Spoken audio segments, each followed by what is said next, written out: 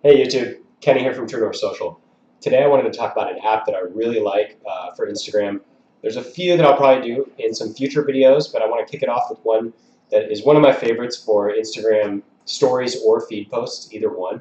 Uh, for a while now, I've seen a bunch of Instagrams that will have like collage posts that when you scroll through, it's almost in one image on two separate frames. So if you're using like a collage, you slide and it's the same image going over and I really like that look and feel. So I started searching around on the App Store for something that could help me do this without having to do it all in Photoshop because that's going to take hours. Um, and I found this really cool app. It's called Scroll, S-C-R-L.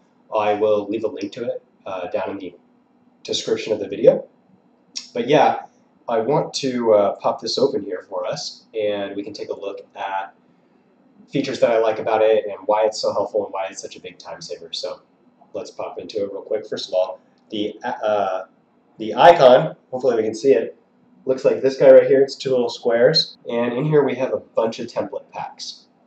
We have the Minimal 2, Referral, Scroll Essentials, Minimal, Plastic, Paper, Tape, Instant, Scroll 95, Film, Film 2. Um, but let's just open this up so I can show you what I'm talking about. So you can see there's a few different ones in here, but specifically what I was looking for when I was doing my research on this initially was things like this, where it's just one image scrolling across into the second uh, part of a post. And even cooler are some where you'll have some overlaid like this, like that. Pretty cool. Um, yeah, love it. Love it when they have kind of this like in between picture. It's just a great way to showcase. And let's go ahead and pop one of these open. Let's go here, and you can see that there's all these plus signs. And the plus signs is where you just drop a picture into, and then you can kind of move it around in the frame uh, and get the exact spot you want. So let's pop open our photos, and let's go to a recent selection. Hold on, let's go to my albums and go to recents. And here, let's just use this from a recent photo shoot we did. So put her in there. Another one. Sorry. This guy right here. So you can have her kind of like in between each little shot that we took, each slight movement that, that she made. I kind of like that. And looking up, and then at the last one, fully sitting up. The other really cool thing that you can do here, right, like I was saying, is move her around inside. So if you wanted to like kind of get a zoom in on her, zoom out, maybe you want to pull it up a little bit. And uh, this last one is basically in perfect frame, I think. Which is great. And we'll just hit preview in the top right. And it's cool, we can do two separate pieces. We could do the carousel, like I was talking about, which on Instagram will just look like that. Love it. And then you could do it, preview it as a video, and it will slide across. So cool, so cool. Um, but yeah, great way to showcase like a collection of clothes or uh, pieces from a photo shoot like this. And then you could even have it be faster, you know, or if you're running an ad, let's say you want it at the 15 second mark or 20 seconds if you really want to have it, you know, go nice and slow, if there's a lot of detail in photos. Um, but let's just say 10 seconds. Save it to the camera roll, it renders it out.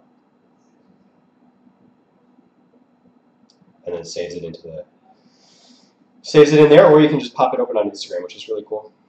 Let's take a look at a, a few other options. Um, can also do uh, the tape and the plastic ones are pretty cool. Paper's fun. Let's go to the paper. Um, what I will note is the way that this thing exports in terms of resolution. If it's not truly the aspect ratio of an Instagram story, so it's super tall, like this is even just, this one right here is just a tall post, but it wouldn't technically be full story. It will be slightly degraded, but it won't be too bad.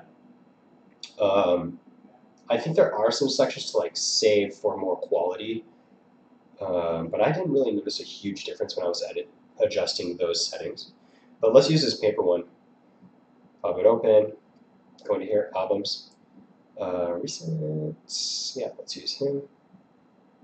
And then maybe we'll do, let's do him looking down. Then let's do him looking at the camera. And then let's do him looking over to the right.